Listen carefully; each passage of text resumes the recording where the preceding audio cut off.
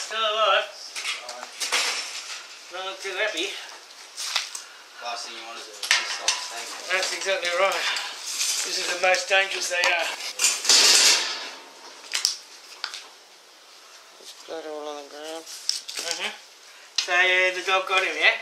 Yeah, I think so. There's a bit of blood right next to it. Oh yeah, dog got him there. I think he's uh, probably have to tap him on the head, but uh, we'll see how we go.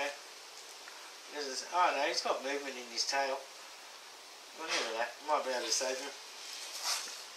He seems to have a bit of go in him. Yeah, This is yeah. a really dangerous situation when the snake's in pain. That's it, yeah. Yeah. That's what I was worried about. How long it's going to wander around the backyard for. Mm.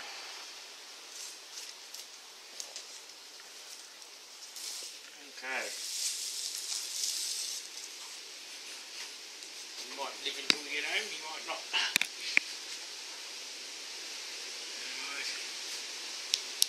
Oh well. That's uh I'd really be watching the dogs. Yeah, um, it was just the girl there, so. Which one? The little one? Yeah. Yeah, okay. How long does it usually? Uh, 48 hours, man. You're going to have to watch them for 48 hours. Even taking to work, I wouldn't. I wouldn't be taking my eyes Yeah. off. Um, Yeah.